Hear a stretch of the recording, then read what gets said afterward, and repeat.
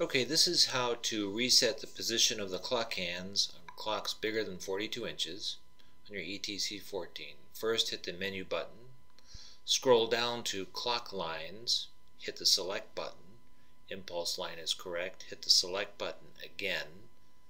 The time on the screen is the position of the hands, or supposed to be. Scroll down to the state line, edit, modify it to stop, and hit the OK button. That'll stop the hands.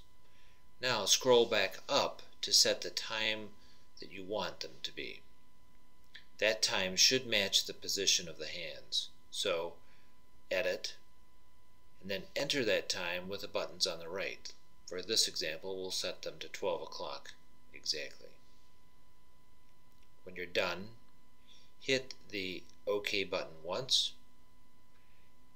that time should match the position of the hand. Scroll down to the state line, hit the edit button, modify to run, and hit the OK button.